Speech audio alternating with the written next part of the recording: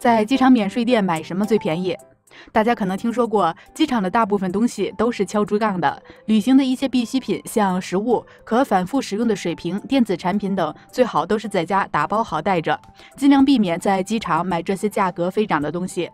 考虑供应和需求，机场商品的价格通常都会非常的贵。机场商店或餐厅通常是旅客在最后一刻购物或者用餐的唯一选择。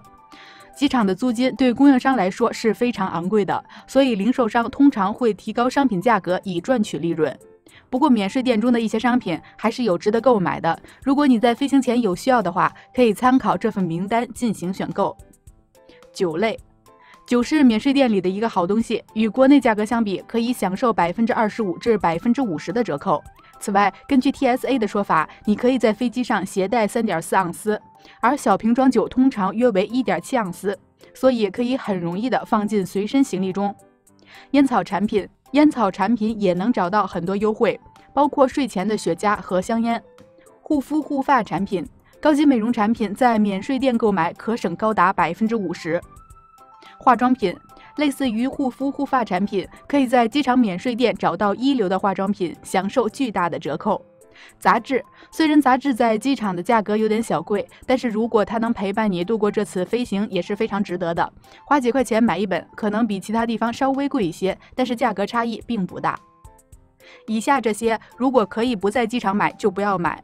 WiFi，许多机场提供免费的无线网络，但是还有等到起飞时向旅客收费的。在您输入信用卡号码之前，请查看是否可以免费连接，或者可以找找能免费使用的星巴克或咖啡店。纪念品，在到达机场之前把纪念品买好。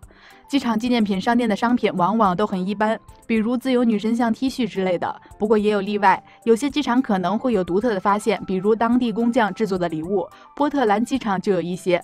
建议还是提前做一些功课，其他地方价格也更合理。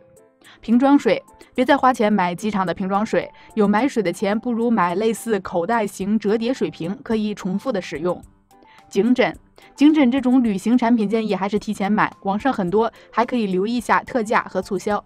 外币，机场的货币兑换柜台可能带来高额的交易费用，所以说机场可不是兑换钱币的好地方。方便确实方便，如果你愿意为此付出代价，那也是可以的。